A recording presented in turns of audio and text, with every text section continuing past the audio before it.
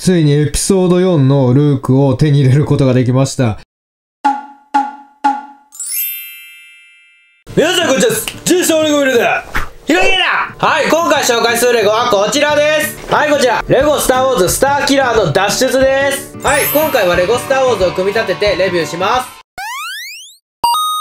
はい、箱はこんな風になってます。ちなみに僕は今までレゴスターウォーズ開けてきたんですけど、エピソード4から6のものは、1個も開けたことがありません。なので、エピソード4から6はこれが初めてです。中に入ってるミニフィグは、ルークとレイヤ姫とストームトルーパーです。僕、エピソード4とかのストームトルーパー持ってないので、これは嬉しいです。はい、箱の後ろはこのようになってます。ギミック盛りだくさんで、これは面白そうです。そうそう、あとこちら以外に、はい、こちら、デススターキャノンです。エピソード4見たのが結構前なので、これ出てたどうかは、えー、どうだろう。こちらの動画も近日に出しますので、楽しみにお待ちください。はい、では、開けます。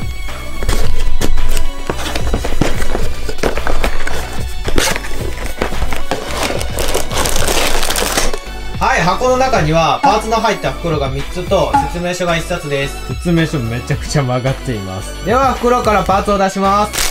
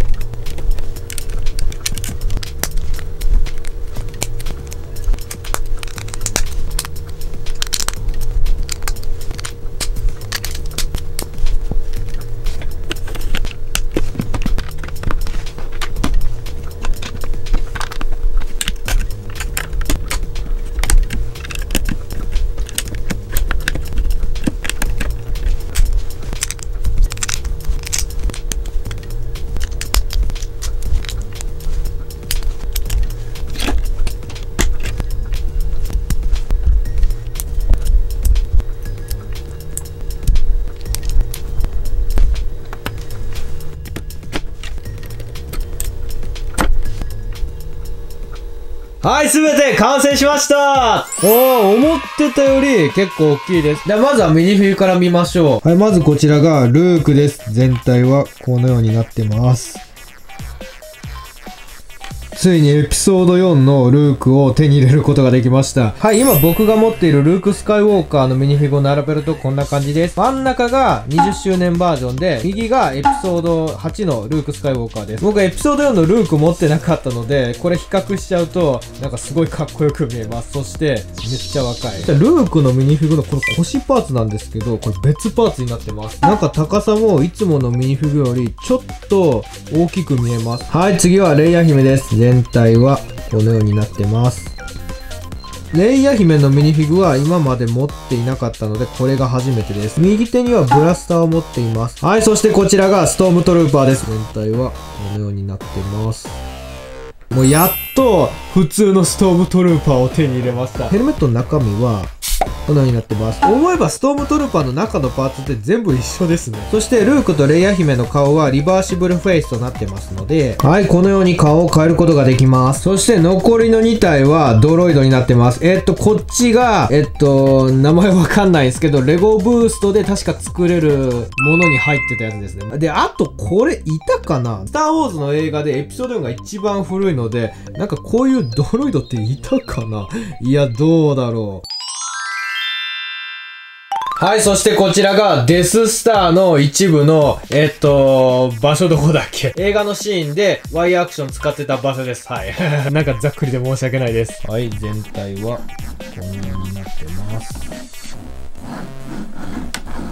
はい、近づいてみるとこんな感じです。これ自体そんなに大きくはないものの、このような小さいパーツがあることによって、すごくリアリティに見えます。完成度は非常に高いです。では、こちらのギミックについて説明します。まず、こちらのリフトは、このように稼働します。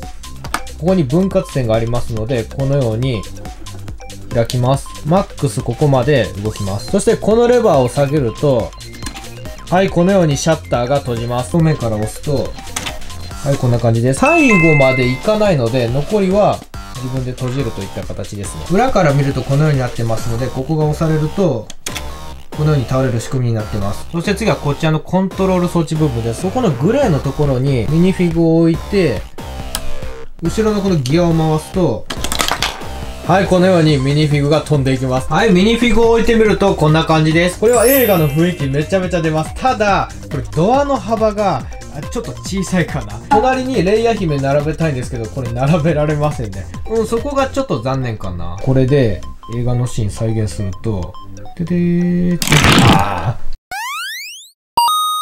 次はちょっと箱のように飾ってみます。ルークのこの背面パーツを持たせて、ここのパーツに引っ掛ければ。はい、こんな感じです。これはすごいな。ただ、これ手離すと、はい、このようになります。これ正面向かせるのむずいな。はい、まあなんとか正面に向けてみました。これはまさに映画のワンシーンです。そしてこのままストームトルーパーが、ってなるわけです。うおー、すごいな。はい、レゴスターウォーズデススターの脱出はこんな感じです。はい、ということで、レゴスターウォーズデススターの脱出を組み立ててレビューしました。このセットが思ってたより大きかったり、あとはギミックが結構あったので、これはいいと思いました。で、今回作ったこちらのセット以外に、冒頭で出てきたデススターキャノンもありますので、これもすごい楽しみです。ちなみにこちらは去年発売されたレゴスターウォーズなので、定価で買うとなったらちょっと難しいと思います。僕の家にはまだ開けていないレゴスターウォーズがありますので、こちらもどんどん作ってレビューしたいと思います。はい、以上、ひろげーでした。ありがとうございました。はい、今回の動画面白ければ、グッドボタン、高評価をよろしくお願いします。そして、僕のチャンネルに登録していただくと、最新の動画がいち早く見れます。ぜひ、チャンネル登録をよろしくお願いします。そして、コメントやリクエストや質問などお待ちしております。それでは、次の動画でお会いしましょう。おならーイェーイ